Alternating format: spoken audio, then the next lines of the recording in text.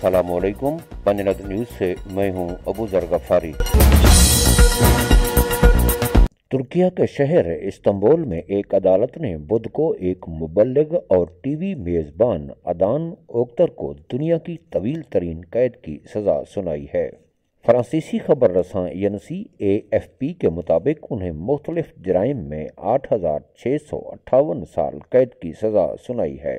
ओक्तर जिन्हें नाकदीन एक फ़िरके के रहनुमा के तौर पर देखते हैं, online A nine television channel पर अपने प्रोग्रामों की वजह से बदनाम हैं और तुर्की के मजहबी रहनुमाओं की तरफ़ से बाकायदा इनकी मजम्मत की गई थी।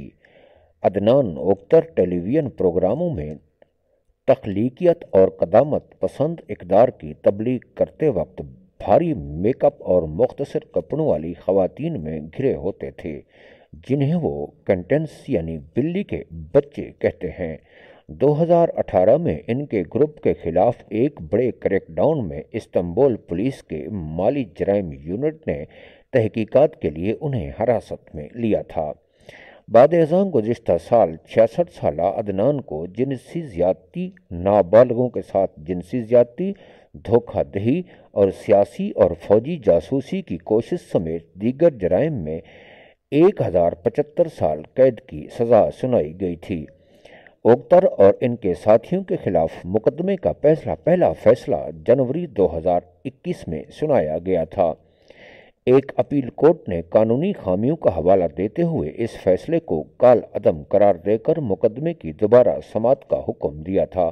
अपील कोर्ट के फैसले ने हिरासत में गुजारे गए वक्त और दीगर अवामिल की वजह से अड़सठ मुद्दा अलहान को रिहा करने की राह हमवार की, जबकि अदालत ने ओक्तर और उनके करीबी साथियों को तवील अरसे तक हरसा हिरासत में रखने का हुक्म दिया।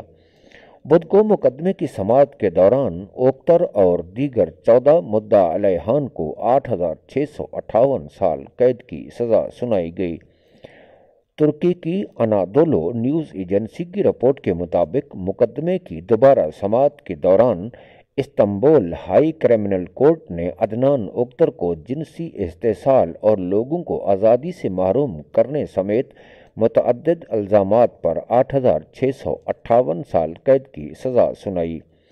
इसी एजेंसी के मुताबिक अदालत ने दस दीगर मुशतबा अफराद को भी आठ हज़ार छः सौ अट्ठावन साल कैद की सज़ा सुनाई है। तुर्की की अखबार डेली सभा के मुताबिक उख्तर पर अपने फ़िरके के अरकान के साथ मुनज़म जिनसी इस्तेसाल और सियासतदानों से लेकर सहाफ़ियों तक हाई प्रोफ़ाइल लोगों के बारे में निजी आदद शुमार जमा करने का भी इल्ज़ाम है। ये थी अब तक की अहम खबरें। इसी के साथ ही अबू गफारी को इजाज़त दीजिए। अपना ख्याल रखिएगा। अल्लाह हाफिज़। अफवाज पाकिस्तान, जिंदाबाद। पाकिस्तान, पाइंदाबाद।